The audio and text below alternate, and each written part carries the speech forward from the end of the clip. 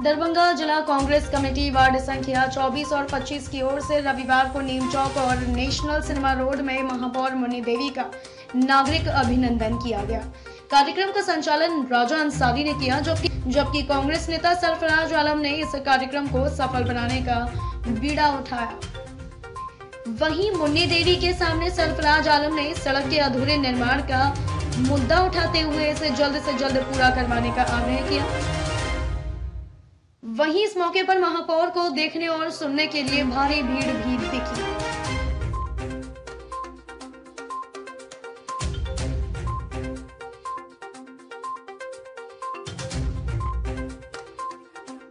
ये आज आप नागरिक अभिनंदन समारोह करवाया है कांग्रेस की तरफ़ से। किसके तरफ़ कांग्रेस की तरफ़ से? क्या मकसद क्या था इस खास करने देखिए चूँकि मेयर साहिबा पुरानी कांग्रेसी हैं और कांग्रेस से जुड़ी रही हैं। कांग्रेस की जिलाध्यक्ष भी रह चुकी हैं, महिला कांग्रेस की। और हम लोग की मेयर बनी है दरभंगा नगर निगम की। तो हम लोग का फ़र्ज़ था कि हम लोग इनको सम्मान करें कांग्रेस के जन के कार्य। तो इसलिए अभी जिला कार्यालय थोड़ा मशगूल है दूसरे कामों में।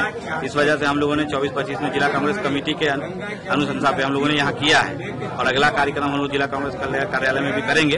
और मेन मकसद था कि शहर में जो मेन समस्या है अधूरा सड़क, अधूरा नाली, इसको उनका, उनके नज़र में डाला जाए, जिसमें मेरा जो 24-25 वार्ड का मुख्य सड़क है, जो रमाशंकर सनी से लेके नेशनल सिनेमा को मुख्य को जोड़ता है, इसमें सबसे ज़्यादा प्रॉब्लम है, क्योंकि पाँच साल से काम हो रहा है और रुक रुक के काम हो रहा है।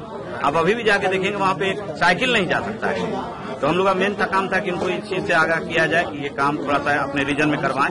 क्योंकि इस- ये रोड अगर बन जाता है तो मेन जो रोड है मौलागंज का जहाँ जाम की समस्या रहती है उससे निजात मिलेगा। क्या आश्वासन मिला? मेयर साहबा की तरफ़ से क्या मैं आश्वासन? सामने बोला है कि परसों जो है स्थायी समिति का मीटिंग है इसमें इसको देखेंगी। ठीक है? हमको उम्मीद है कि मेयर साहब इस पर करेंगे। पूरा परिचय दीजिए। सरफराज अनवर जिला महासचिव कांग्रेस कमेटी।